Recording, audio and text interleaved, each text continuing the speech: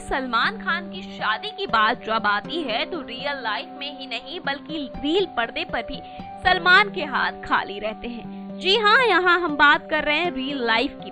बात करें माधुरी से उनकी शादी होते होते रहेगी। दरअसल यहाँ पर हम बात फ़िल्म साजन की कर रहे हैं। माधुरी, संजय दत्त और सलमान खान द्वारा इस फ़िल्म में लव ट्रायंगल दिखाया गया। होता कुछ ऐसा है कि माधुरी जो की कविताएँ उनको लिखकर कोई भेजता है और सलमान खान कहते हैं कि वो कविताएँ वो लिखते हैं। लेकिन वो संजय दत्त लिखा करते थे और सलमान फ़िल्म के क्लाइमेक्स में अपनी गलती को एक्सेप्ट कर लेते हैं और संजय दत्त और माधुरी एक दूसरे के हो जाते हैं, यानी कि एक हो जाते हैं। और फिर से हमेशा की तरह सलमान खान अकेले रह जाते हैं। नेक्स्ट नाइन न्यूज़ रूम की रिपोर्ट